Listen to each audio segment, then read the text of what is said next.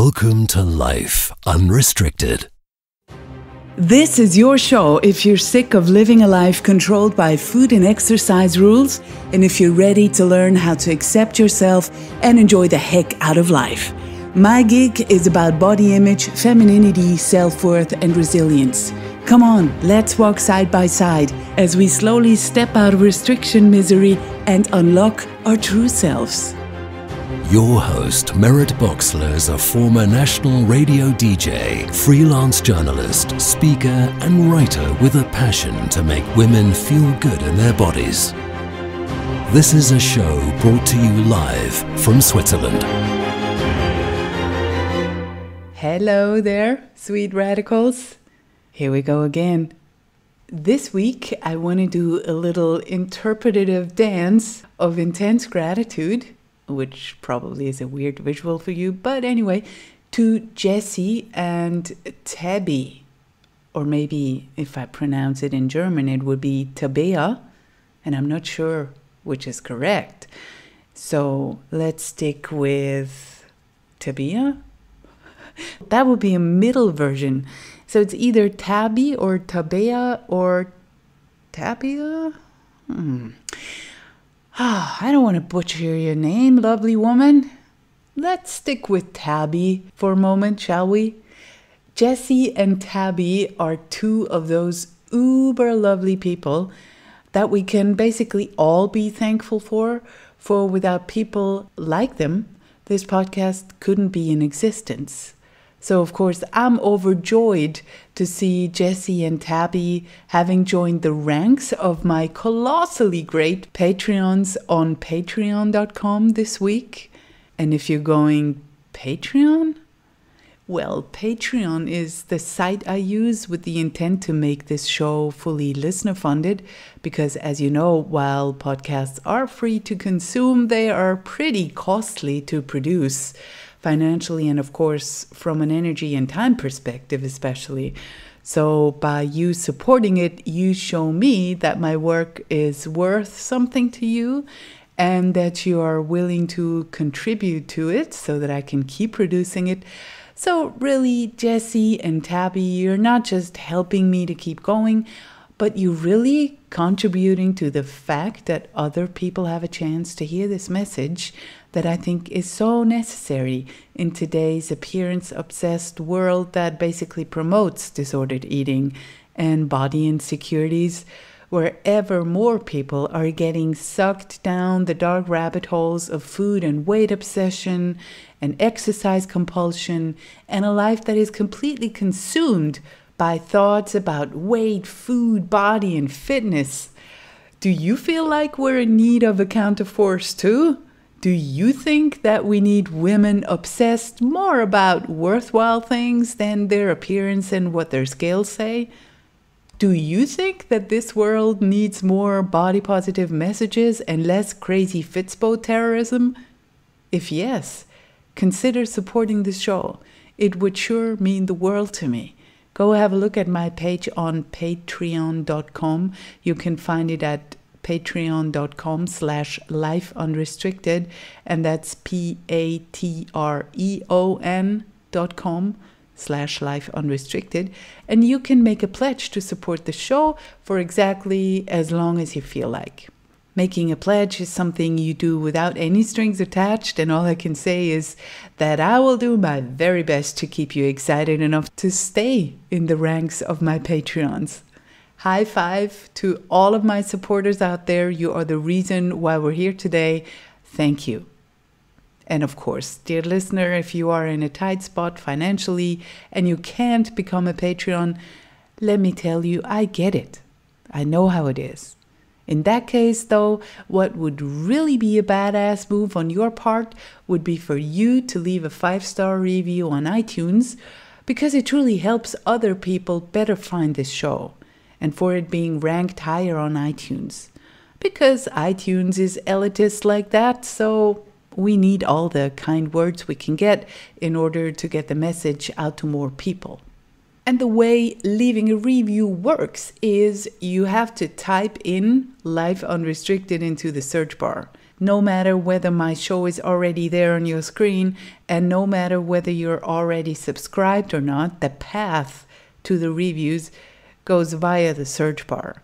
So you type in Life Unrestricted and then you click on the big show image. And after that, you will see that there are different tabs to choose from. One of them is ratings and reviews, and that's where you can leave all your lovely words and stars. Now, why on earth iTunes decided to make this reviewing process so stupidly complicated is entirely beyond my limited comprehension, but hey, it is what it is. It's like with everything in life, it's about doing it.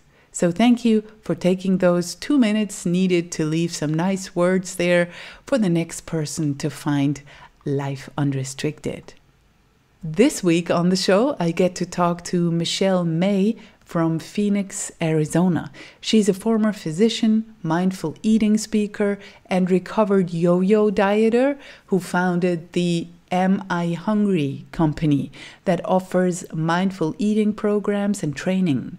Am I Hungry empowers people to end chronic dieting and overeating and to get back a fulfilling life without deprivation and guilt. She's also the award winning author of the book Eat What You Love, Love What You Eat.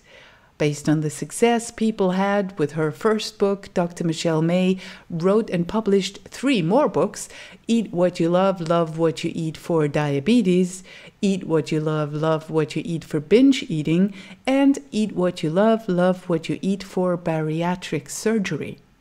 Her books, programs, and retreats are all designed to help people increase self awareness of beliefs habits, thoughts, feelings, and physical sensations, to finally understand why diets don't work, to discover simple yet powerful methods for knowing when, what, and how much to eat without restriction.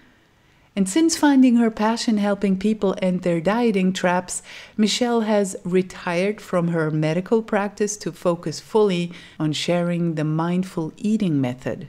Along the way, she has been featured on countless media outlets and publications. Her personal success story is featured in Chicken Soup for the Dieter Soul, and Michelle's unique yet common sense approach will probably change the way you think about eating too. Michelle and I have already agreed on a second conversation because there was still so much left to be said at the end of our recording time that we didn't have any other choice. We had such a lively conversation that we both totally forgot time, as it happens ever so often on this podcast. And seriously, I love those conversations. I think those are the best.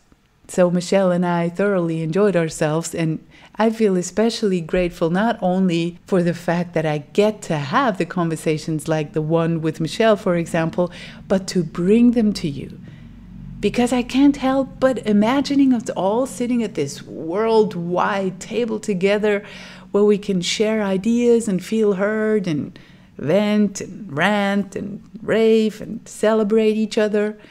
And anyway, after Michelle and I stopped recording, we both agreed that there needs to be a sequel to this because there's so much to be said about stuff with diabetes, bariatric surgery, you know, all of the details she goes into in her subsequent books.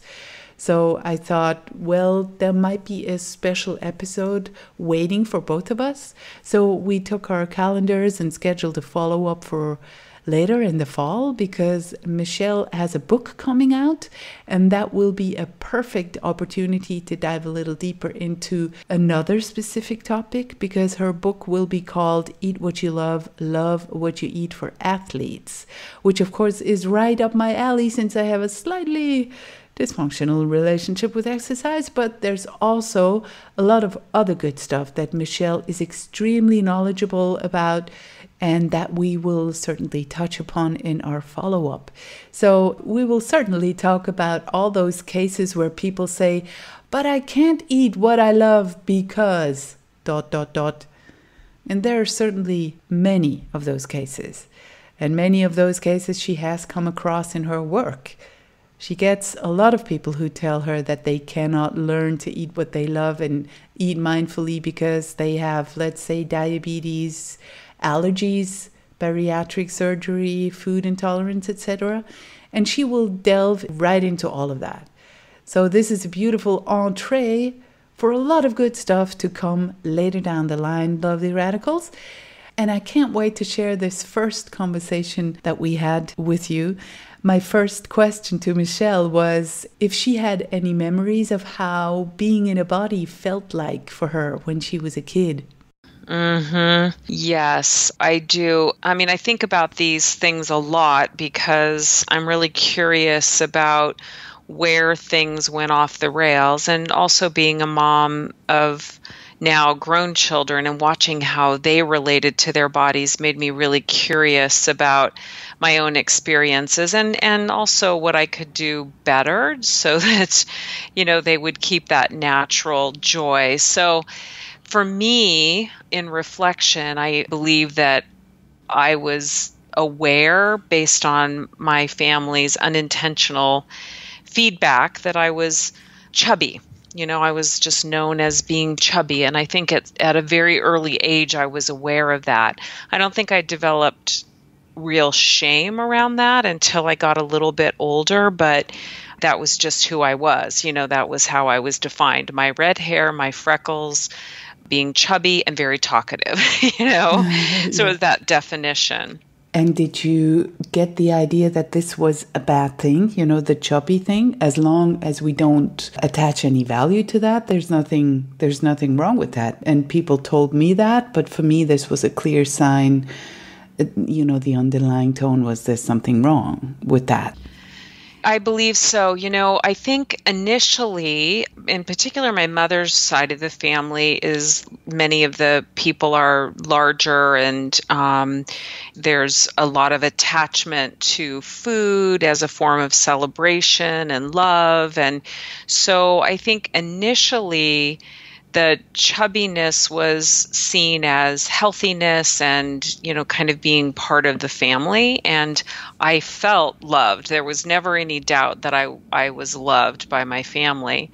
As i grew a little older i got the sense that this was going to be a problem. I got that sense from family members um, as well as increasingly from the outside world. Somewhere there was a shift that took place, and I'm not even exactly sure where that shift occurred, but I remember one specific comment my dad made, and he said, Shelly, it looks like you swallowed a watermelon seed and it's growing. Oh, no. Right? And I remember that just so clearly the and so shame that right? exactly exactly oh. and so then then that's when that's when i knew there was quote unquote a problem mm-hmm. how old were you then I, I think that, and this could be based just on pictures when I go back and look at myself, I think I was seven or eight by then. Mm-hmm. Yeah, we certainly pick up on those messages at that age, especially coming from a father. We all want to be, you know, our daddy's daughter. And when shaming comments like that come, we certainly internalize that there's something wrong. So, mm. were you put on diets as a kid as well? Or did you just internalize that and that seed literally grew? I remember my parents then divorced when I was around nine, and um, I was living with my mother. And I remember she took me to our family doctor, and I believe she took me there to talk with him about their concerns. And I very specifically remember him telling her, with me in the room, that she should stop giving me milk, whole milk at the time. We weren't drinking uh, skim or 1% or 2% back then. She should stop giving me milk and give me tab instead. Tab was a popular diet drink back in the day, it was one of the first diet sodas. I mean, can you believe that? What? A family doctor told my mother to stop giving me milk and switch me to Tab, a diet drink, um, to help what? with so my weight. So you were supposed to have your cereal with not not cereal necessarily, but you know, but to not, but you know, we were we were milk drinkers back then, yeah, sure. and you too. know, and so this was a way to to cut out some of the calories. So that was you know around ten or so. I begged my parents to let me go on a diet I begged them to drive me to Weight Watchers, and I started that diet when I was around 11 or 12 and uh, did Weight Watchers off and on really until my late 20s, early 30s. But where did you get the idea when you were 10 that there was Weight Watchers out there and Absolutely. that you wanted to go there?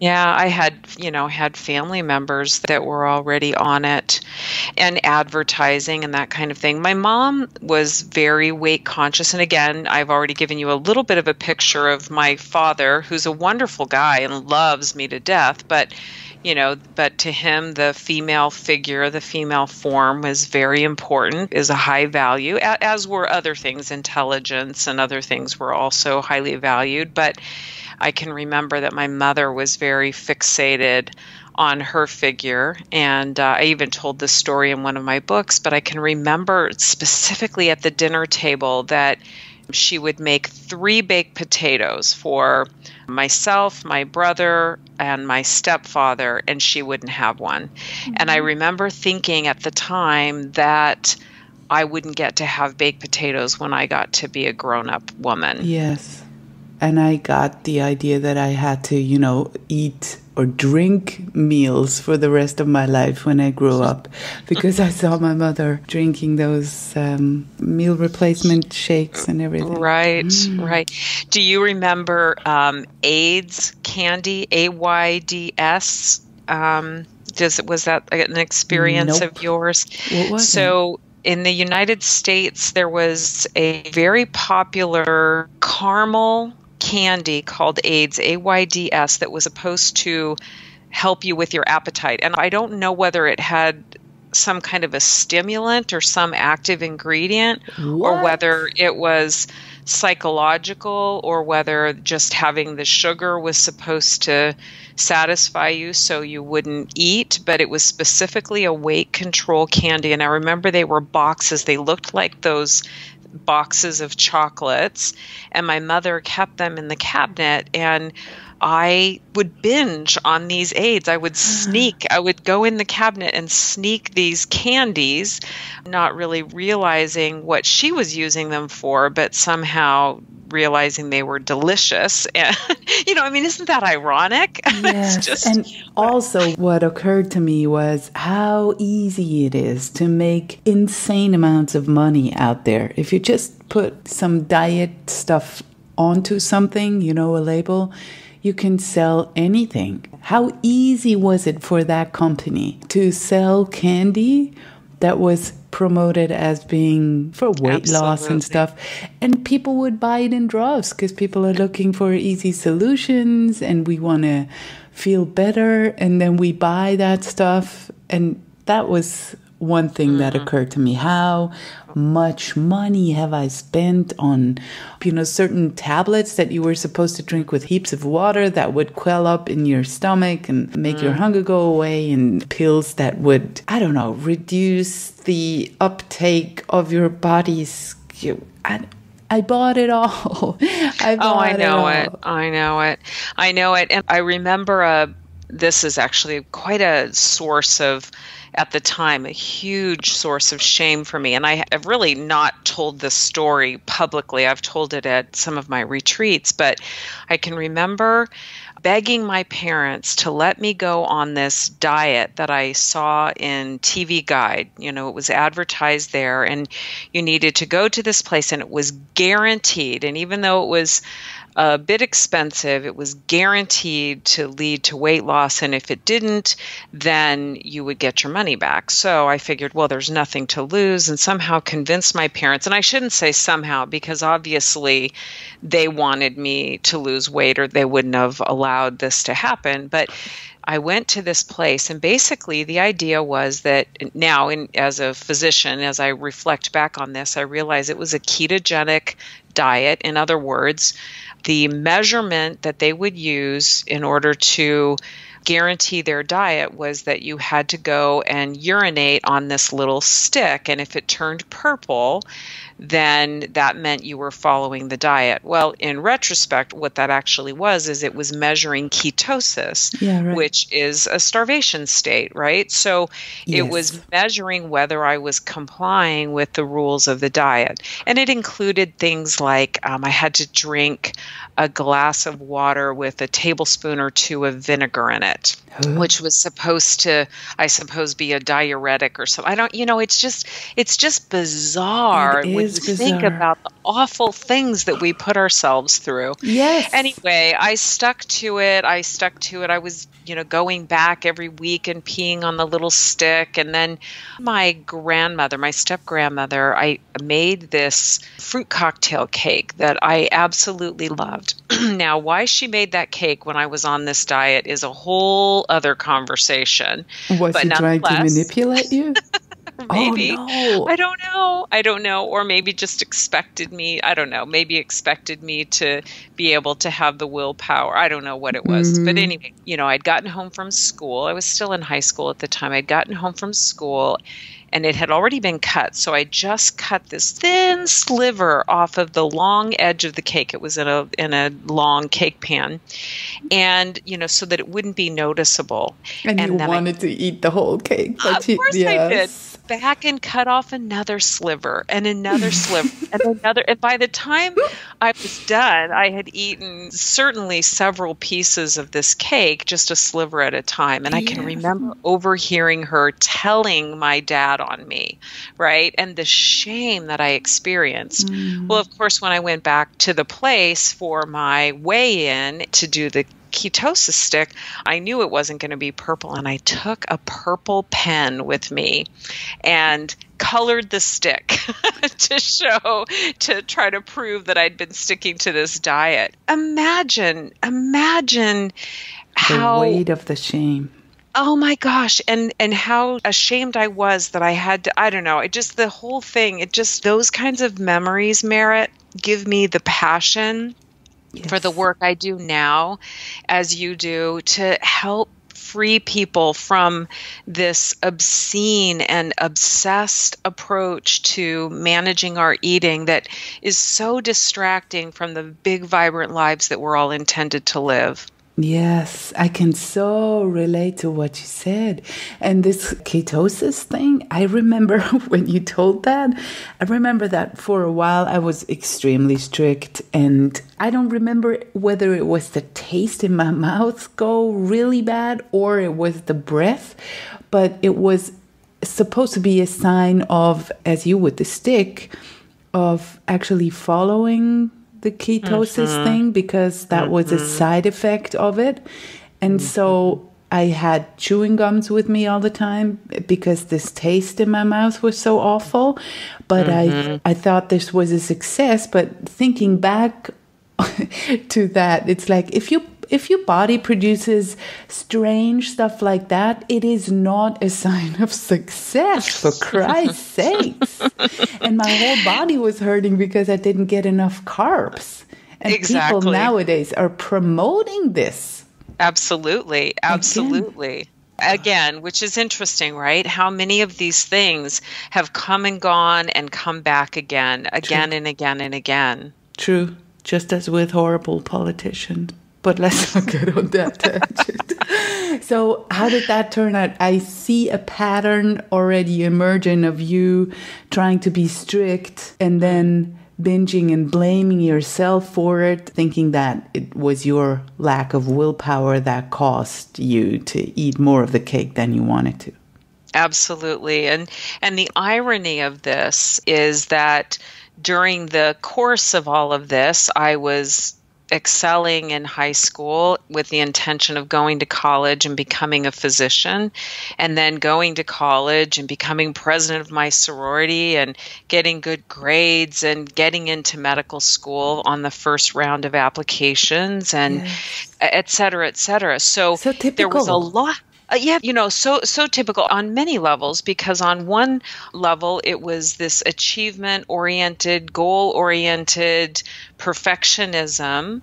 Right. Um, there was all kinds of evidence that I was not weak willed or lacking in willpower or stamina or intelligence. So the fact that I couldn't stick to a diet somehow meant that I was failing, yet that clearly wasn't the case in other areas of my life. And yet again as as you're alluding to this pattern of perfectionism and then giving up and perfectionism and giving up was manifesting itself in my relationship with food and that certainly undermined your self-esteem i would suppose like why the hell am i sucking at this and mm-hmm. i heard it from so many women that are otherwise successful but that started to bring their entire self worth down to almost nothing because, well, if I can't even keep my weight in check and my eating in check, something is terribly wrong with me.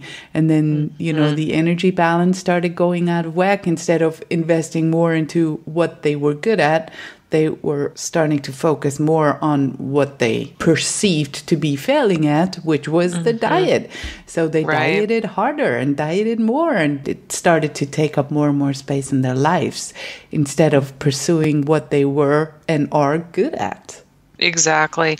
That is precisely the problem. And of course, the side effect of that, I mean, it, obviously, there are many, many problems with this, but one is that many women in particular are postponing their lives until they achieve some goal weight mm. um, or that some perception of being good enough. And so, day by day, moment by moment, year by year, their lives slip by until they feel that they have earned the right to live it fully and joyfully. Until they and fit this, into the jeans, yeah. Until they fit into the jeans. And so this for me is really this is the piece that causes me great pain in terms of the effect that this has on people because I think if you think about as you mentioned all this energy that we're investing toward our eating and weight, if that energy can be channeled into the things that we're good at, the things that we're passionate about, the things that bring us joy, the things that serve our families and our communities and ourselves, imagine what a much better place the world would be. Yes, we'd certainly have some problems figured out like maybe renewable energies or I don't know what women are capable mm-hmm. of and increasingly men as well that are in this mm-hmm. terrible Trap. cycle. Yeah, but we what we don't realize is that we have a limited amount of attention and energy mm-hmm. in a mm-hmm. day and we sort of allocate a lot of this energy to the body and food and worrying about food and obsessing over what to eat and when and how and exercise and then we don't realize that this is actually energy that we could have invested somewhere else. We don't mm. consciously realize that. It's an automatic process because I don't think anyone would say yes to that. Well, and I think that part of the problem is that our Western culture is feeding this. I mean, uh, not just the advertising and the thin ideal that we're exposed to day in and day out, but even from the medical and healthcare community where all of this energy is applauded. It's, you know, one of our retreat participants at what at our binge eating retreat, she said that she was allowed to be heavy as long as she was trying not to be. Yes, so, in other words, she was only acceptable as long as she was trying to change, right? So, there's some real irony in that, isn't there? Oh, totally.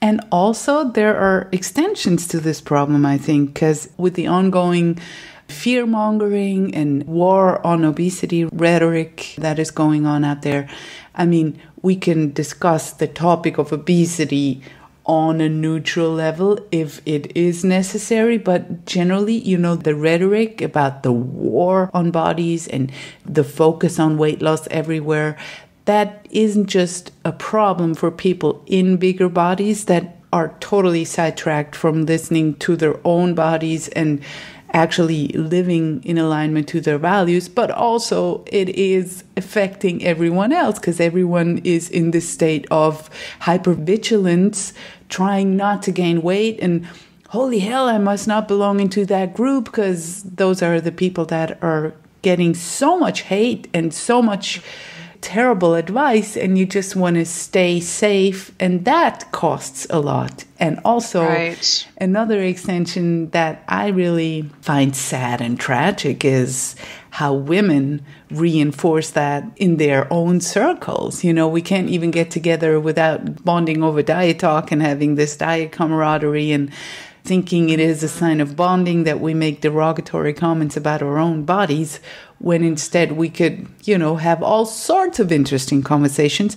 And we are complaining about the patriarchy, but at the same time, we are oppressing each other. We are not really helping the cause of ourselves, you know what I mean? Mm, and that is so sad because we don't really uplift each other. Mm-hmm. I know it. It's the consciousness raising that you are doing, that I'm doing, and that so many of our colleagues and increasingly the I think women in general are, are becoming more and more awake to this and the issues that it causes. And, and I really, really believe that there's a sea change. I believe that right now we are at the very tip of a wave that is going to come crashing down. If I have my way, if you have your way, mm-hmm. we are at the very beginning, I think, of a shift that needs to take place. And I and it's ironic because the beginning of this occurred decades ago. I mean,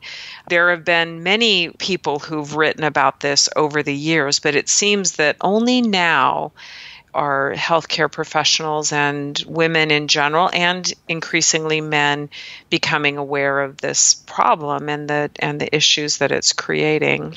While at the same time, the other side is getting more extreme too. One has True. to say, because yes. I, it's almost every podcast I listen to, no matter what the topic is, the topic of weight ah, comes up every time and they start shaming people or advocating you know. What i often hear is the three white devils uh, like sh- sugar and i don't know what wheat or flour. Flour yeah and and something else i don't know and and devilizing potatoes. Yeah devilizing food and don't eat this and you shouldn't be surprised that you're fat because you're eating XYZ and the it's, ones go against the others and those hate yeah. on those and those have it wrong and it's like religious cults. It is. It is, and the and the interesting thing is that the common denominator in all of this, of course, is restriction and deprivation under the and guise so, of health. Under the guise of health, and so, so it is irritating. And what what i think is crazy about this is that uh, oftentimes these are people who fall into one of two camps. Either they are people who eat instinctively and don't really struggle with these issues themselves or they are people who eat restrictively and expect other people to do the same even though they themselves recognize how difficult this is. And I think that the the missing link in all this is that they don't seem to understand or recognize or acknowledge that restriction and deprivation actually increase cravings, increase compensatory eating, increase guilt, which is another very powerful emotional trigger for overeating. And so what happens is what I refer to as the eat, repent, repeat cycle that not only makes the problem worse, but actually, in many ways, is part of some of the ill effects that they are mistakenly attributing to weight, I think are actually a result of this eat, repent, repeat cycle and these extremes that we put our bodies through that really, I think, trigger even more defensiveness on our body's part, make us hungrier, make us more attentive to food, cause our bodies to retain energy more efficiently. I mean, it it really is a vicious, both biological as well as psychological cycle. Mm-hmm. And there's also problems with that because out of that narrative that they promote they end up trying to prove their point by, you know, once you experience those binge attacks or crazy cravings after you've restricted for a while and you might have even been successful at losing some weight and then the effects start happening, which is your body fighting back. And then those people say, See, I told you, that's the sugar that is calling for you. This You're addicted. is addictive. Right. And so, yes. and you tend to believe that because it sounds logical without secondary glancing at it. You know, I didn't realize all that until someone told me what's really going on. And now I see the ridiculousness of all of this out right. there. But what irritates me is that they they make a pretty surface um, how do you say um, on a yeah a surface case that sounds logical if you just mm-hmm. hear it and then you go oh yeah right they're right yeah shouldn't right. because gluten is the devil and, exactly and then you that's stress out so much then whenever you eat a piece of bread and you have this certain reaction in your body and you go yeah I gotta be allergic to this. I, pro- I probably am gluten intolerant, and then you start stressing out, and you're you're stressing your body out by trying to mm-hmm. reduce mm-hmm. inflammation and to become healthy, and they make people feel guilty for mm. experience those cravings and those binges and that's what's making me so sad and on top of that that What's also a problem, you know, with diets is that they do work short term for most mm-hmm. people. Why else would they go back like addicts to them? Because it, it did work for a while. What did I do mm-hmm. right there? I must do mm-hmm. more of that without mm-hmm. ever seeing the whole cycle. So I think it would be good if you just explain the whole cycle, maybe based on a on an example that is easy to picture. Mm-hmm. Can I share the mindful eating cycle that we use to work with people sure. around these issues? I was going to ask so, you anyway. I, yeah, I you to share it. Thank you. So exactly, I think what you've said is so important for people to recognize that that the narrative that you are addicted to food, that you are out of control, that you just need the right diet and enough willpower or surgery or pills or elimination of certain food, all of that, it just seems so logical to people when it's presented in that manner because their lived experience is that they do feel out of control and they do struggle. And so the mindful eating cycle is a way for us to look more objectively at the decisions that we make around eating. So we know that eating is far more complex than just what you eat and how much you eat and how much you exercise. So, looking at it from the perspective of the mindful eating cycle, everything starts with why. Why are you eating in the first place? So, sometimes the reason might be that you need fuel. Sometimes it's pleasure. Oftentimes it's a combination of these things. So, why you're eating will, of course, determine when you feel like eating. And then when you've decided to eat, you then decide what to eat. As you're eating it, you are literally deciding how you're going to eat it. And at some point, you, you decide. how? Well, I'll come back to that because that is such Thanks. an important thing. So, mm-hmm. yeah, so it's why. Why am I eating? When am I eating? What do I eat? How do I eat it? How much do I eat? In other words, when do I stop? And then, last but definitely not least, is where do I invest the energy I've consumed? Uh-oh. So it's yeah. a cycle, right? So it's a cycle. It starts with why, when do I eat, what do I eat, how do I eat, how much do I eat, and where do I invest the energy. And so if we use the example of Well, let's start with the example of somebody who doesn't struggle with any of these issues you and I have been discussing. Let's start with the example of, of somebody who eats instinctively, maybe somebody who manages their eating effortlessly and isn't caught up in all this trap. Maybe a child, maybe a right. maybe a very young child. So their primary why, their reason for eating is that their body needs fuel. Therefore, when do they feel like eating? When they're Whenever hungry. They, when they're hungry, right? Mm-hmm. They just instinctively know when their body needs fuel. Now, what do they eat? Well, when they're very, very young, they eat what their parents give them. But as they have more preference, even even at a very young age, they'll spit out things that they don't like. They will be naturally attracted to things that they enjoy, and so they eat what they love essentially and then they eat it in a way now so this was the how that you asked about a moment ago. So i like to say that people who eat instinctively eat with intention. And i've i've heard you talk about intention before. So they eat with intention. They eat with the intention of feeling better when they're done than they did when they started.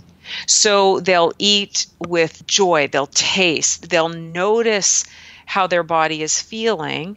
And so they will stop when they've had enough, even if there's food left on their plate. So, how much do they eat? Enough. Mm-hmm. And they quit when they're done. And then this young child, or maybe this fortunate adult, then where does their energy go? Well, living, they playing. living, mm-hmm. playing, growing, exploring, maybe moving, whatever it is, they use up their energy. And then when their energy is, their fuel is gone, they get hungry again and they go back through this cycle again and again and again without needing to give it an obsessive amount of time and energy. They just naturally know when they're hungry, they eat what they love, they enjoy their food, they stop when they're satisfied, and then they use that energy over and over and over again. Totally. Pretty obvious, right? Well, when we struggle with overeating, oftentimes the cycle is being driven by triggers. So these triggers might be uh, environmental triggers, like the presence of food or smelling food, like at a movie theater, smelling popcorn, or emotions such as boredom or stress, or maybe happiness or celebration. And I think one of the keys to this that you have done such a, an amazing job of, of helping people recognize is that restriction and deprivation, in and of themselves, become emotional triggers for eating. Mm-hmm. So when our why of our cycle is triggers, then of course think about the when. I mean, if you're eating because you're sad, mad, glad, stressed, or bored, then when do you feel like eating? Hmm, all the time. Plus, all the time. Because Plus. I restrict myself and my yes. food, then what happened for me, and still does occasionally, is like food becomes a reward.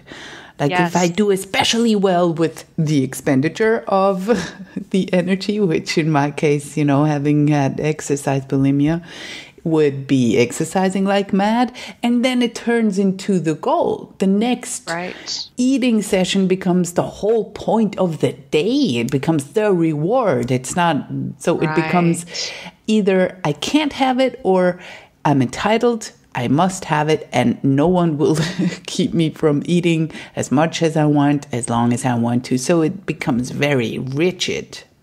Absolutely. Exactly. So, of course, in that situation, your example specifically, what are you going to choose?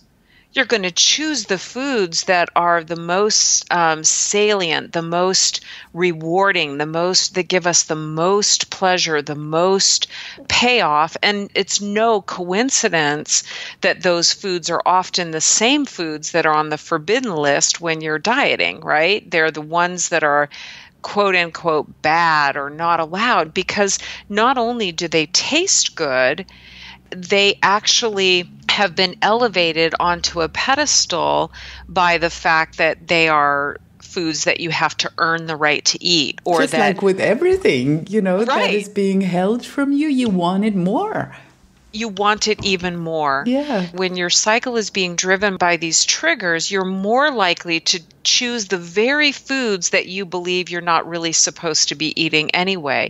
And so, how do you eat them? Fast, standing up. Fast, standing up, mindlessly, Guilty. maybe guilty, mm-hmm. distracted, and oftentimes secretly Yeah, probably in hiding. in hiding. And so the fact that you're in hiding adds that shame that actually drives the cycle even more. And there's and mm-hmm. there's some subconscious thought or, or that becomes increasingly conscious, maybe you've had it that says, well, you've already blown it. Yes. You might as well keep eating or eat it all because you're going back on your yes, diet. because tomorrow I'll restrict again. So this is the last supper mentality. Like, okay, good. I'm gonna do this. This is the last time. Exactly. And, I and get it out after that, I'm gonna throw all the cookies away. I'm never gonna buy cookies again. But we don't want to throw them all away. I'm going to eat them all now. Yeah, right. have to deal But I used to purge my whole household from foods that I thought I was not in control over. So obviously, and then I gave it away in my own house where I live. I rang Right. my neighbor's bells, going, "Do you want these? I I can't have these in my house." in my house exactly Mm-hmm. and so you end up overeating and then and then where is your energy in this cycle Oh, when you're in my o- head. in your head so you're you're spending all of your energy thinking about eating feeling guilty maybe you feel tired low energy low self-esteem and of course if your triggers are emotional then that feeds the cycle. And here's the thing about it Meret that i think is is really uh, the more i do this work i've been doing this work now for 18 years and the longer i do it the more connected I get with the real problem with all of this is that it's not about food and it's not about weight. But when I'm using food or trying to use food to meet my true needs, those needs aren't being met. Mm-hmm. And so, as a woman, not only am I allowing myself to be judged by my appearance and I'm shaming myself based on what I ate, but the real problem is that I am not meeting my true underlying needs. My core needs that deserve to be met are being denied when I try to meet those needs by eating cookies. Plus, I think that when you're stuck in that cycle, the longer you do it, the less you even think you deserve to have those needs met.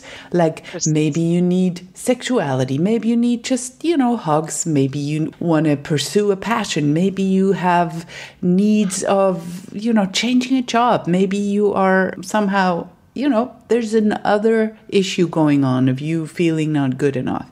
And then you Un- sort not of worthy. Yes, and you feed into that by creating the narrative that you're not in control over your food and your body is broken and you certainly don't deserve anyone hugging you or desiring you or you living a mm-hmm. free, peaceful life.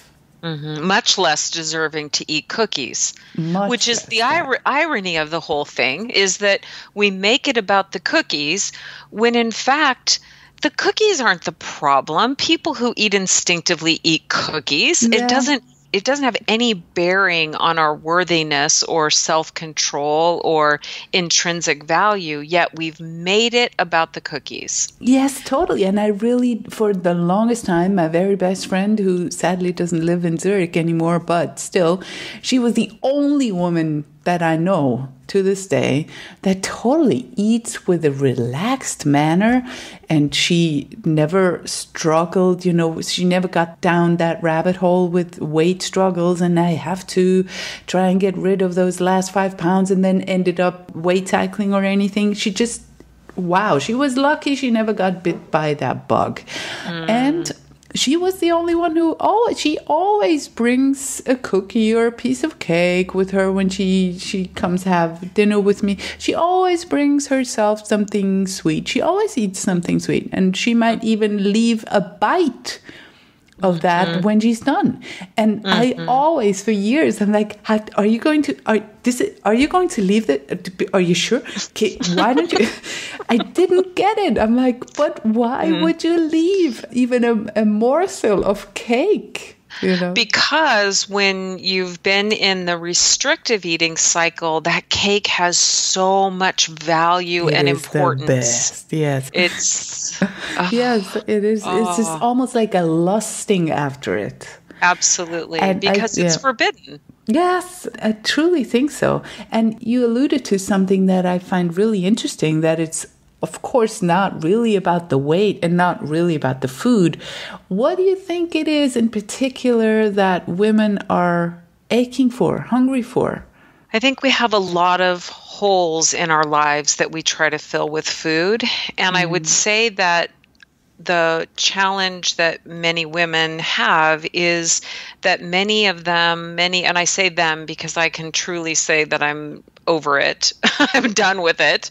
But I say I would say that many of us over diet the same way we overeat. Yes. In other words, we're still focusing on food. We're still focusing on not eating food, and we're still making it about the food even when we're not eating the food. And so, Totally.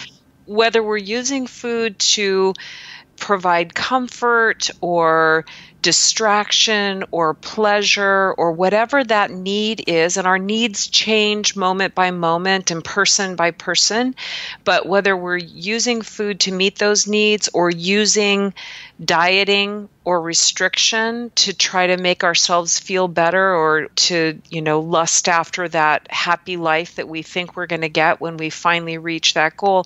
Either way, we're distracted from living in the present moment where we have everything we need right now, right here.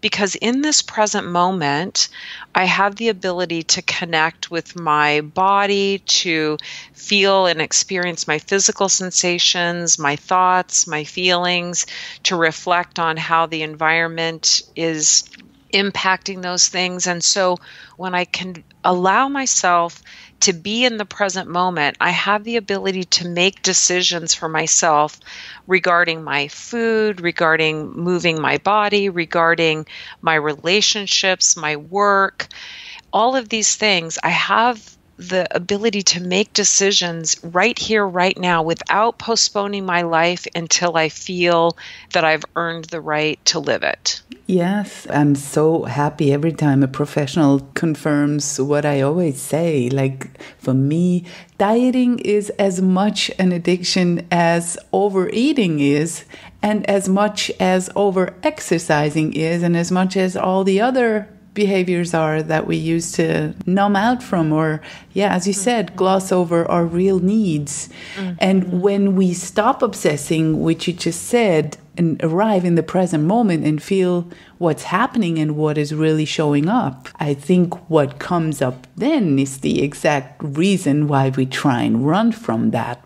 Those feelings come up and then we have to face what the real issue is and that is undeniably harder to do Absolutely. Thank you for saying that because it is, I'm not trying to oversimplify this. I mean, it actually works in both directions. The first is that we don't all have deep, dark psychological problems that we're using food for, and we don't always eat because of some deep emotional cause, right? I mean, sometimes it's very simple habits, it's unconscious patterns that we've developed, it's mindless, automatic eating. And mindfulness, mindful eating can help resolve some of that kind of issue very easily and very quickly.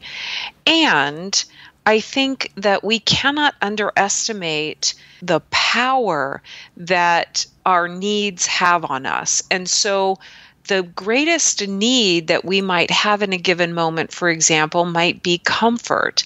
Well, if we lack the skills or the awareness or the knowledge of how to comfort ourselves, then of course we would reach for food. There's nothing to be ashamed about. You're trying to take care of yourself. You're trying to meet your need for comfort, and you're doing it in the easiest, most expeditious way. And your past experience has shown you that eating this pile of cookies will give you that comfort. And now we know maybe you've yeah. been modeled that by mom or grandma or dad that whenever you had a feeling that was maybe unpleasant or that they didn't know how to deal with, they gave you cookies or look, Right. here's something you would take that. That'll distract you from crying. So you were comforted by food. You're actually Absolutely. copying something that you thought was working because you you never experienced anything else.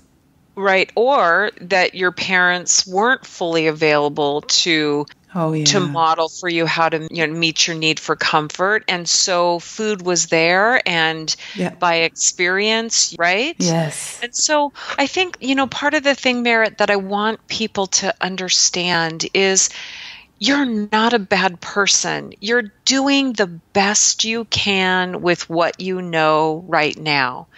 What makes me sad, though, is that our diet industry has convinced people that the way to break out of this pattern is through restriction and deprivation and rule following. And what you and I know is that that actually makes the problem worse. And it takes us further and further from being able to recognize and meet our own needs. Yes, and more and more dependent on people telling us what we should do, and more and more confused as to where to turn to for advice. It really puts gasoline on the fire. Mm-hmm. But that's Absolutely. been marketed, you know, in a way that it's so loud, it's everywhere, that we can only talk about this and hopefully spread the message. But it f- sometimes feels a little bit like David and Goliath, like, mm, hello, mm-hmm. I'm shouting up, I'm shouting up the Himalaya and nobody hears me because there's an industry that is making 60 billion a year in America alone, which is, Right. yeah, mind boggling. Well, and I think it's very difficult to sell the idea that you can learn to trust your body again because not only does our culture tell us that you can't trust yourself, but that has been many people's experience. And you, I think, explained it really well earlier when you talked about how increasingly people are saying, oh, well, see, you lose control. It's because you're addicted. And mm-hmm. so their experience says, see, I'm addicted. That's that's what's going on here.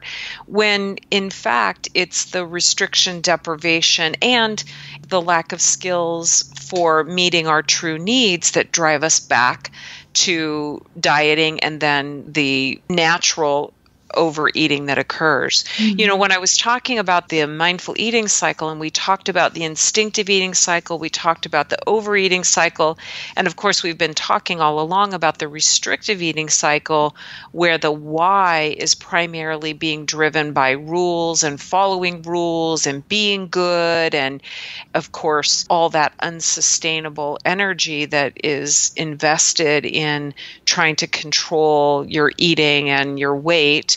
And I think that ultimately what what this all boils down to is that when we're in this overeating cycle, we feel like we're totally out of control. And I get it. I've been in that cycle. You've been in that cycle. Mm-hmm. I know what that feels like. It's an awful feeling to feel like I cannot stop myself from eating the rest of whatever is in front of me.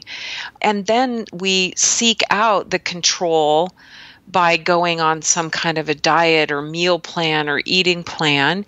And so, for a brief period of time, as you said, it works. You feel like you're back in control. And that's such a good feeling compared to that awful feeling of being out of control. Mm-hmm. And so, many, many people are vacillating in this yo yo pattern of being in control, out of control, in control, out of control.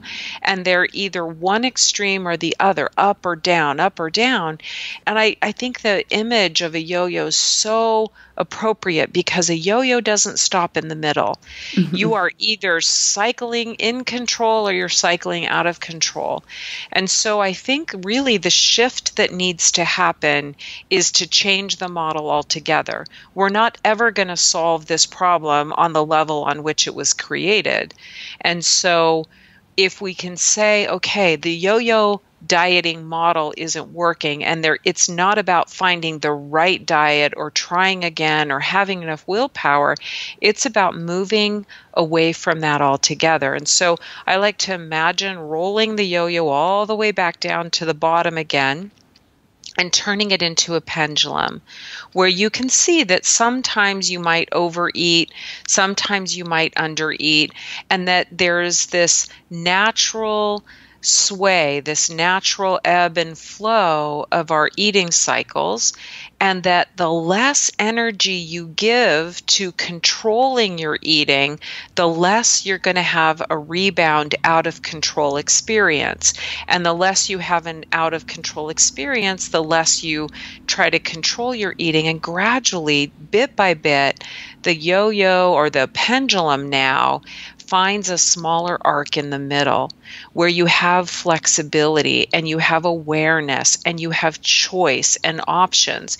And so instead of trying to be in control, which is which is not possible, it is about being in charge mm-hmm. so that I'm conscious that I have options and I'm constantly choosing in each moment what I'm going to eat or when I'm going to eat or how much I'm going to eat or where I'm going to invest my energy.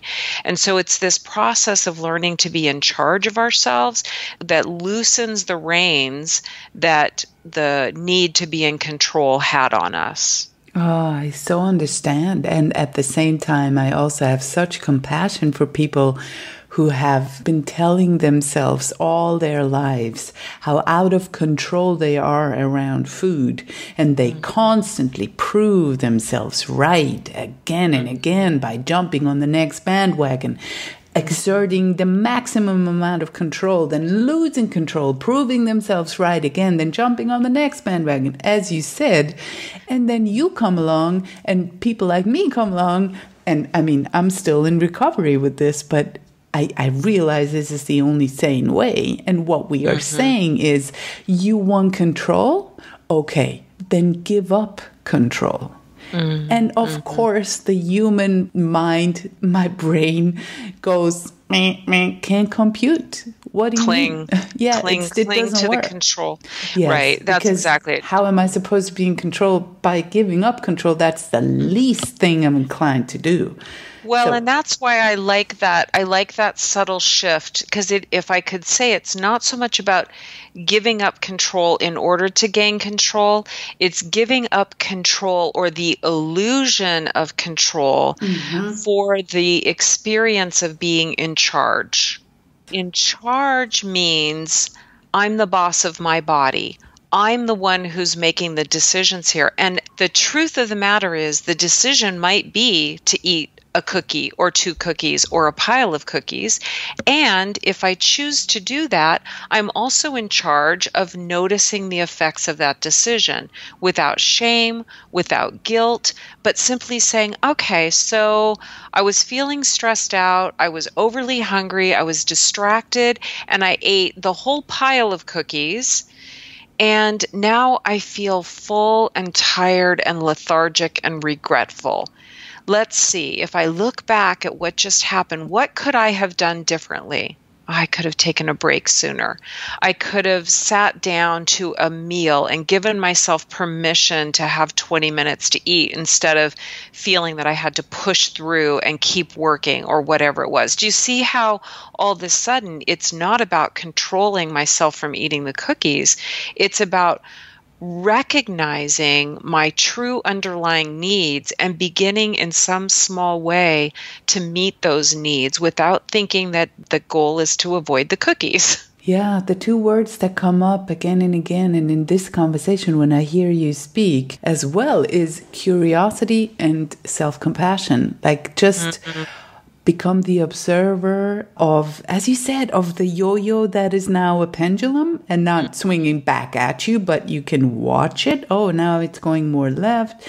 Oh, now it's swinging to the to left a little more like with kids. Sometimes they eat mm-hmm. all the food in the house and sometimes they're just not even hungry. Sometimes they want apples, sometimes they want cookies. But if you don't interfere with that, they will never have the last supper and finish your plate mentality in the first place. So we are trying to go back there, of course. Mm-hmm. And there's a lot of curiosity in it. And that is a hard thing for me to develop with the self compassion thing. Because mm-hmm. when I eat, as you described, like a whole pile of cookies, then I would immediately go into how do I compensate for that? Mm-hmm. Of course, of course. And, and you know, yeah, well, what I was going to say is there's another word replacement that can help. So, again, one would be instead of trying to be in control, let's make the intention to be in charge. And the other one is to shift from guilt to regret. And what I mean by that is when you're in a restrictive mentality, when you're in a restrictive cycle or a diet mentality, when you fail to do what you're supposed to do, you feel guilty. That's what you're supposed to feel. You're supposed to feel guilty, and that's supposed to help you correct your behavior. Well, when you're in charge and cookies are allowed, you can eat cookies whenever you want. And if you eat so many cookies or so often that you feel uncomfortably full, you can compassionately and non judgmentally experience the awareness of what it's like to have eaten so many cookies that you're now uncomfortable. And instead of feeling guilty, because there's no reason to feel guilty, eating cookies is allowed, it's an option, it's a choice, you can feel regret. Oh, I wish I hadn't eaten so many cookies because now I feel uncomfortable. Well, it's done. What could I do differently in the future to not set myself up to the point where I am so stressed out or so distracted that I eat the whole pile of cookies, right? So, regret leaves the door open for learning, whereas guilt feeds the overeating cycle. And it feeds into shame as well.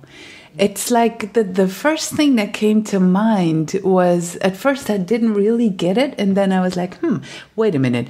If I went out today and I didn't, like, I don't bring an umbrella, and then it starts raining, then I'd be likely to feel regret for not having brought an umbrella because mm-hmm. shit, now it's raining on my head. Too bad I didn't bring the umbrella, right? But I mm-hmm. wouldn't feel guilty like, oh no, I am such a bad person for not bringing the umbrella. You know, that's absurd. Oh, but what yeah, wonderful analogy. I but, love it. But now with the whole narrative in, in with food and our culture, every ice cream is labeled um, guilty pleasures or it's a moral judgment. yes exactly. And we are constantly being fed the narrative that eating has moral value or what we are eating has moral value. So of course we end up in the rain example feeling guilty for not bringing an umbrella mm-hmm. which is absurd. mm-hmm it's just. It is absurd. So thank you so much for pointing out the difference because regretting something is much more conducive to learning something mm-hmm. than feeling guilt and beating myself up for doing something. Oh, yes. wow. That was an insight. Yeah. That was profound, and it's really love your analogy.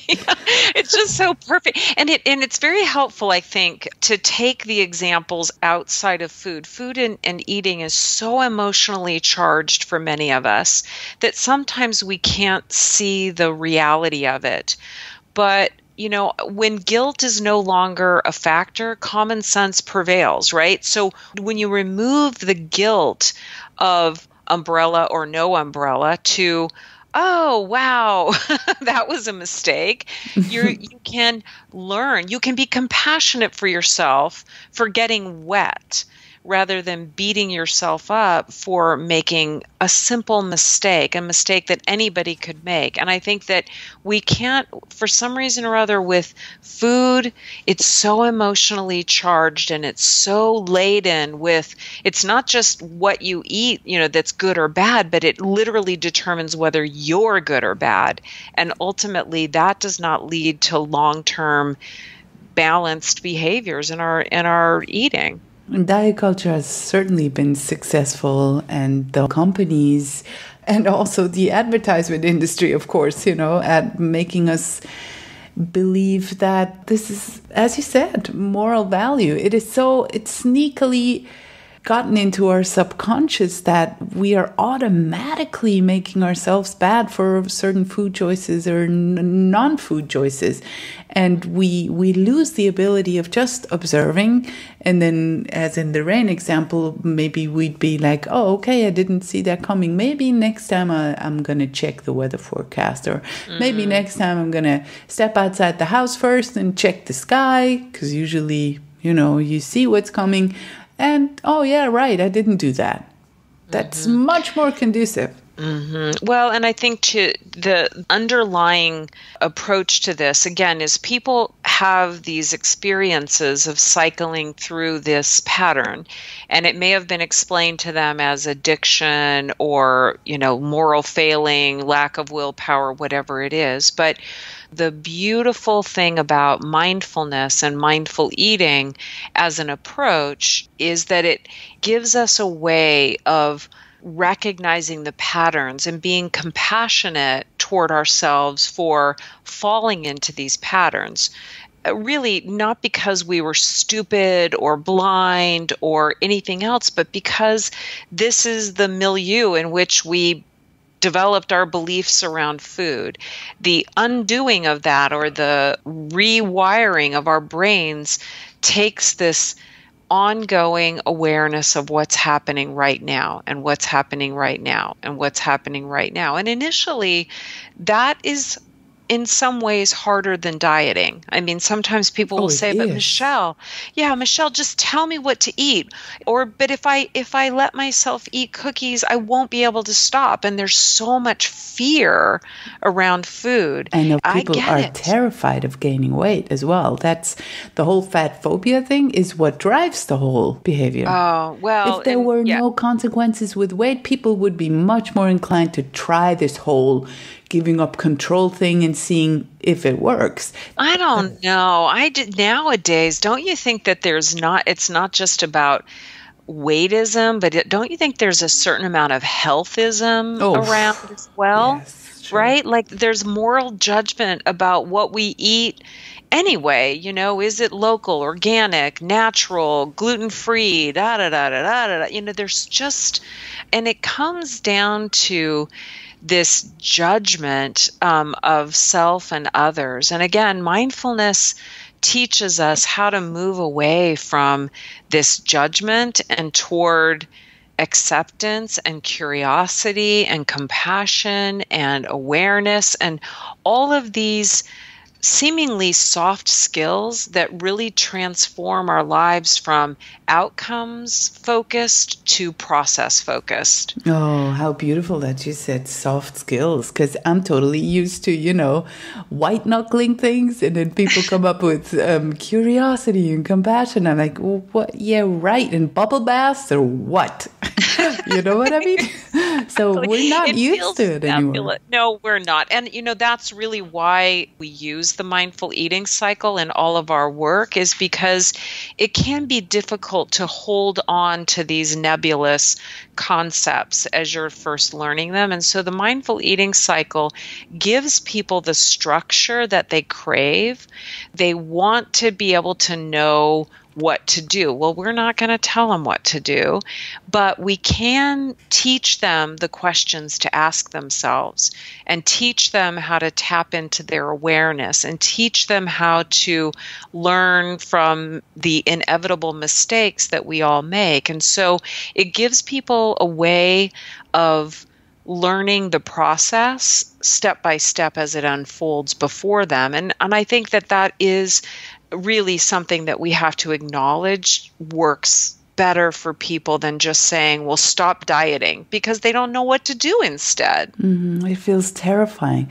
It sounds so, you know, for people who are not familiar with all that, they would say, well, that's easy. Just eat. Come on. And they don't realize how much this is psychological and how we are hooked on that. And that is really also the addiction. Like, I need to control and mm. giving that up. Why is this so terrifying? It sounds so easy. It's like, yeah, you're allowed to go on holiday, and you'd be like, no, I can't, I can't.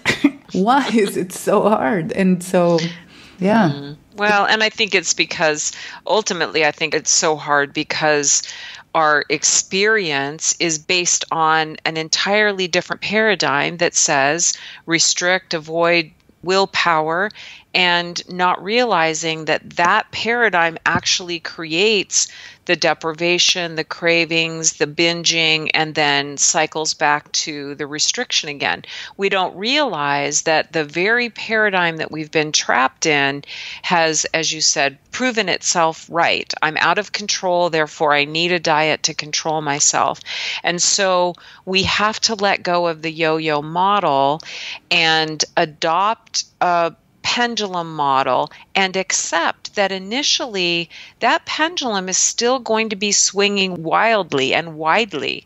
And with the pendulum model, what we can begin to see is that every time I pull the pendulum all the way to the right in an attempt to restrict myself, even if the restriction is a subconscious thought that I shouldn't be eating something or that I'm going to have to pay penance for it later by exercising more, what we see then is every time we pull that pendulum and then let it go, it naturally swings all the way to more overeating. And as we begin to see this pattern and recognize what's actually happening, we can begin to experiment with not holding that restrictive thought or that belief that I can't eat that or I'm I'm not allowed to eat that. And as we begin to just trust ourselves we find that naturally the pendulum finds that arc in the middle and the arc is going to vary. My arc is going to be different from your arc, Meret, and my arc is going to be different today than it was 10 years ago. And that we have within us the ability to figure this out by learning to listen to and trust our body's wisdom. So, the first step would be stopping all compensatory behaviors. Like if you've eaten those cookies, then don't go over exercising. Don't, of course, don't purge and nothing like that. But let it be, and Yeah. and, and sit with that discomfort without trying to restrict the day after or over exercising, and then watch the pendulum over weeks. Maybe I don't know. Find the center. Well, I think yeah, I think that's one possible step. I think for many people, just stopping the restriction can have a very powerful effect. Now, the problem with that, of course, is that some people will very quickly realize that in the course of things that the other cycle that is driving the behavior is their overeating cycle. So for many people that we work with, it's not just restrictive eating, but it's also the role that eating is playing in their day-to-day lives. So so they may stop the restriction and that will help narrow the arc, but they may still be using food to meet other needs. And so for them, the process of beginning to recognize how they're using food can be very powerful. And so it, it's really, this is why I call it the eat, repent, repeat cycle, is because it literally has the coin has two sides, right? Mm-hmm. And they feed into one another. But eliminating, and it just depends. If a person's primary driver for overeating is restriction, then then stopping the restriction can break them free of the pattern very quickly. Um, for many people, there's also a component of mindless and emotional eating that needs to be addressed too. Yeah, without it's, making it about, you know, sometimes the topic of emotional eating gets discussed in a very cookie cutter sort of way, which is, I mean, all eating is emotional and having, you know, coping with food every now and then is totally okay. I think what you are saying is the, the systematic yes. numbing out from feelings with food. Sometimes numbing out, but sometimes even just the unconscious use of food to manage our emotions, right? So I feel stressed and out of control, so food calms me down. I feel low energy mm-hmm. and bored, and so food energizes me. And so so as you said, I think it's important to have emotional connections to food. Food can bring us pleasure, it can bring us joy. Cookies can add in a very simple, elegant way, they can add pleasure to an otherwise mundane day, for example. And so having an emotional connection to food is not the problem. And in fact, you know, emotionally connecting with your food is really important. It's when we are overusing food to meet our emotional needs that we are not truly meeting our needs and that drives the cycle because those needs are very powerful and one of the concepts i think that was really eye opening for me is to recognize that my emotions are often clues about what my needs are. A simple example of this might be uh, the emotion of stress. So, when I'm experiencing stress, it is a clue that I need maybe organization, a break, help, pleasure, right? So there's some clue in that experience that I'm having. And if instead of pausing to be curious about what this emotion is telling me I need and then attempting to meet that need, if I reach for food to make myself feel better, then I'm missing the opportunity to interpret what that emotion was trying to tell me. And so, what'll happen then is the food will meet that need temporarily, but because that need was not truly met and taken care of, it will arise again. And if I continually reach for food and redose myself to take that emotion back down again, then that need is always going to come back. And so that will also feed that feeling of being out of control because no matter how much I eat, I never feel truly satisfied because eating can't meet my other needs very effectively. Yeah. The reason I want to be specific about making emotional eating okay is also because sometimes people get really hung up on that. And I mm. think that being in charge also totally includes that there are days when you're feeling stressed and there's no way of getting a bubble bath, there's no way of whatever else, but and you can consciously decide to, oh, I'm gonna cope with that by having a cookie or two or three.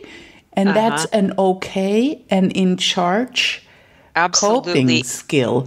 That's yeah, what eating I mean anyway by being in charge. is always a choice. Absolutely. Eating anyway is always a choice. Mm-hmm. If it wasn't a choice, Meret, then that would be dieting, wouldn't it? Right. That's why I wanted to be so specific exactly. about yes, it. Because I'm glad, you, I'm glad you're pointing that out because that is a mistake that I hear so many women. Make. Yes. Yes. I, like I was feeling lonely and then I ate something. I'm guilty. I, I did it wrong. I'm like, no, you no. coped with it. You are even aware of what's happening. That's an okay choice. You did not Absolutely. smoke crack. You know what yeah. I mean? Right, exactly. And so that's one of the problems that's going on right now. And this is why I talked about changing the model completely, because the old diet model causes us to turn mindful eating or intuitive eating back into a diet.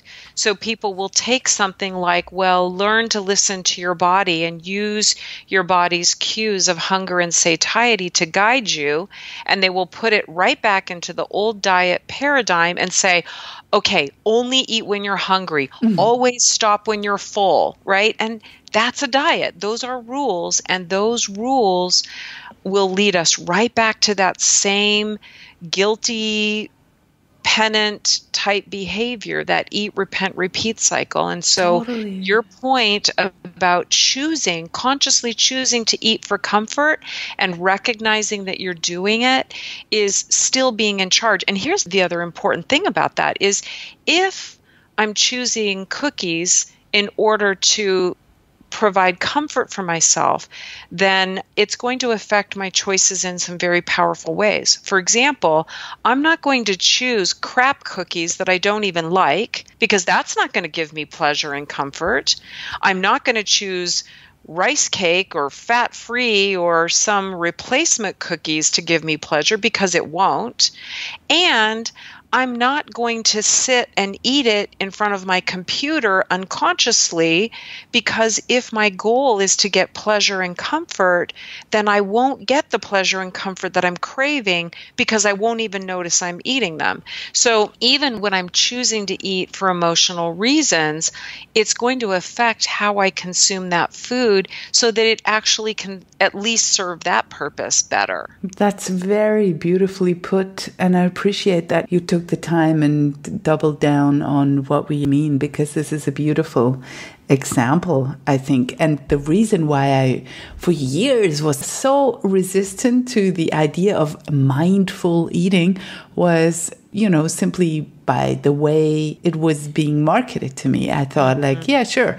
As you said, it was diet mentality in another maybe neatly packaged with a mm. beautiful bow like oh it's called mindful yes clothing. but what i understood is like okay i have to chew my food a hundred million and thirty-five thousand times before i can swallow it and the minute i get the idea that i might be 60% full i have to stop eating like i just it, it made me immediately go fuck mindful eating. I want to eat. I want to eat mindlessly at times. I want to eat and watch television sometimes. I want to be allowed to eat. Don't make me chew my food as if it was, you know what I mean?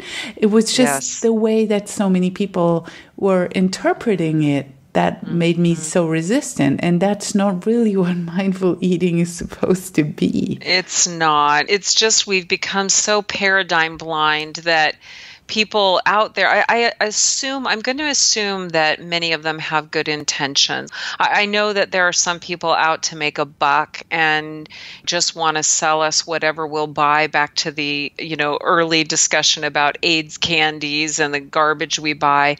But I think many people have good intentions, but they take this beautiful concept of mindfulness and package it back into mm-hmm. a new obsession, something that you can do right or wrong, or, you know, you've got to do it right or you're not doing it well. And it really undermines our ability to heal our relationship with food and our bodies, which is ultimately what mindful eating has done for me and so many of the people that we've worked with. But it's a barrier. It's so difficult for people to hear that and to believe that and to even see it as a possibility because their experience has been otherwise how did you start to become a believer? Who has managed to, to make you see that there was another way back when you were struggling so much? Oh my gosh, it unfolded you know, moment by moment, step by step. And I am learning to this day. I mean, today, what I talk about is different in some very fundamentally important ways than what I was talking about 18 years ago when I started this work. For example, when I started this work, it was stop dieting, and I talked about a non diet way of managing your weight. Now, today, I don't even think it's about managing your weight. I think your weight will take care of itself when you begin to to reconnect with your body's intrinsic ability to manage your eating and your heart's intent to manage your emotions and your needs. You know it it's it all works together. So i don't really see it anymore as being about food. I think eating is the doorway through which many people come, but ultimately, the real purpose of this is the final decision in the mindful eating cycle, which is where am I investing my energy? And the more I invest my energy in self care and meeting my needs and caring for my body, mind, heart, and spirit, the less I'm going to reach for food to fill those holes. So beautiful. And I have a question that I'm, up until now, you're the only person that I'm able to address this topic with. It's bariatric surgery because mm. what I was able to witness with a friend that I sadly could not stop from having bariatric surgery was like nine months ago, I think, was despite the severe pain she was in last fall, I remember She was so thrilled about not being hungry anymore. She literally could not see the pounds drop fast enough. And even though she knew about my podcast, she knew about my story, she could not help herself. She stood in front of me and said, Why don't you compliment me on my weight loss? Don't you see that I'm losing weight? And I was so conflicted, and I knew that she was mm-hmm. probably going to head for disaster. I could not do anything and I didn't want to, you know, rain on her parade when she was mm-hmm. happy to see the pounds drop. But I talked to so mm-hmm. many professionals and it seems like this is only called, you know, the honeymoon phase for a reason. And mm-hmm. where people get so excited to lose weight that they lose sight of how much of a danger to their long term health that could be. And, you know, that the weight often starts coming back when the body starts fighting back, which, as I heard, is after, I don't know, one and a half or two years. So I don't really know how to approach her. And I don't think well, she's getting I, a lot of help. There was a surgeon that was really happy about her getting the surgery, that's for sure. Yeah.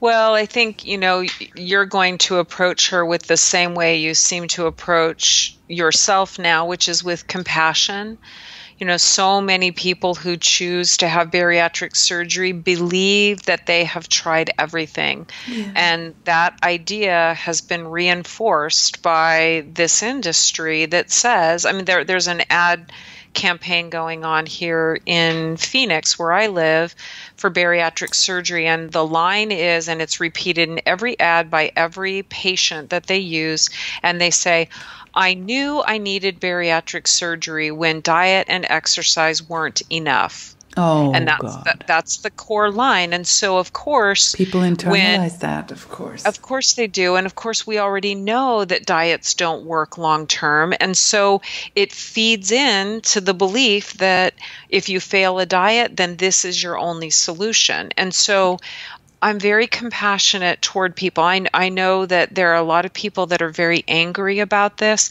but in my in my view, I'm very I feel very compassionate toward people who choose this, and in some in some cases, I completely understand why it feels that it's their only option, and I would not judge anybody for doing it. However, I understand point, it totally as well. Totally. Yeah, absolutely. Absolutely. And here's the thing the problem is that it does not address the underlying triggers for eating when there's emotional eating or in some cases binge eating disorder and as you said the body begins to fight back because to the body there's something wrong when you're losing weight at that rate clearly you know there's a famine there's starvation the body begins to worry about dying. And so i think that there's you know many pieces to this puzzle for many of the people that eventually find their way to am i hungry programs. They will say it's been like the longest diet i've ever tried to follow in my life and I never was able to follow a diet forever because I'm human. You know, I mean it's it's that whole idea that suddenly I'm going to be able to follow this restrictive because anybody who goes to have this surgery, they're told uh, hopefully in advance that what the requirements are in order to to not have horrible side effects and other problems. And so I feel that for people to make that decision there must be a sense of desperation and there must be yeah. Totally. Yes, of course. Yeah. Who would do this like, yes, cut my stomach open. This is a minor issue for me. Of course. And so your friend when or if let, let me say if she begins to struggle again with food because th- during the honeymoon period she probably won't. Mm she may not have hunger. She may not this will feel very easy. And when it doesn't feel easy anymore if she knows that you will not say i told you so because i know you wouldn't if she knows that you would not say i told you so you're going to be the one she'll turn to for help in trying to understand what's happening in her body and in her mind at that yeah. point.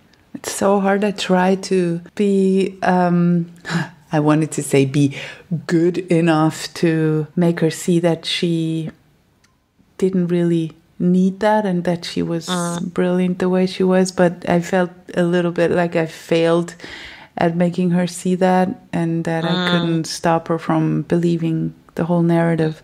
But mm. you are so right. I would never blame her. And I'm basically waiting for this moment to arrive that, you know, the honeymoon phase is over. And it pains me already because I don't mm. want to see her suffer. I know. not at I all. know. And you But you're not in control of that. And no. remember that's the whole issue is that we're just not in control of things the way that we were led to believe that we are. I mean, mm-hmm. this is life. Life unfolds and, you know, we cannot control the painful things that come into our lives. We cannot control even the beauty that comes into our lives. But we can be in charge of being present and compassionate and curious and aware and from that intention respond to her in whatever way feels appropriate when the time comes. Yeah, I will I hope there's a German translation because she doesn't speak English, but that would be a lovely lovely gift for her because you one of your books is specifically about that. It's called Eat What You Love, Love What You Eat for bariatric surgery. And I just wonder what made you write it. Well, the original book series, Eat What You Love, Love What You Eat, is based on the mindful eating cycle, and it was really focused on helping people resolve the eat, repent, repeat cycle, this yo yo dieting pattern we've been talking about, because that was my personal experience. But as I spent more time out in the world talking to people and speaking at conferences, I would have people come to me and say, oh, Well, that makes so much sense but for me it's diabetes or for me it's bariatric surgery or whatever. So i was running workshops am i hungry mindful eating workshops and in those workshops because they were just addressing the eat repent repeat cycle people would come to those who had diabetes or who were struggling with binge eating disorder or who had already had bariatric surgery. And so through the process, we began to realize that really the solution, the mindful eating cycle and mindful eating itself, is a way to help people resolve these issues. But the needs of people who, for example, have had bariatric surgery are somewhat different. Um, so I want them to have a way of finding that healing that even if the pathway for them was through bariatric surgery that eventually they come to a place of peace with food and with their bodies. And so it's more about trying to help people recognize and manage their eating from whatever place they're starting from. Yeah, I can hear so many people sigh with relief about hearing you say that and knowing that there are resources out there and help out there and that they're not alone and that they're not wrong for having chosen this you know mm-hmm. so how how can people reach out to you and find your resources because there are mm. so many wonderful resources you offer so, probably the simplest way is just to visit amihungry.com. And probably a great place to start would be either just to click on Mindful Eating for Individuals, which really talks about what mindful eating is and how it might help and introduces the mindful eating cycle. And then another place to go there might be the button that says free. Because under free you can download the first chapter of eat what you love love what you eat and read about the mindful eating cycle for yourself. You can take a mindful eating cycle assessment that will help you recognize your patterns of the instinctive eating cycle, restrictive eating cycle, and overeating cycles and figure out where you are in that pattern.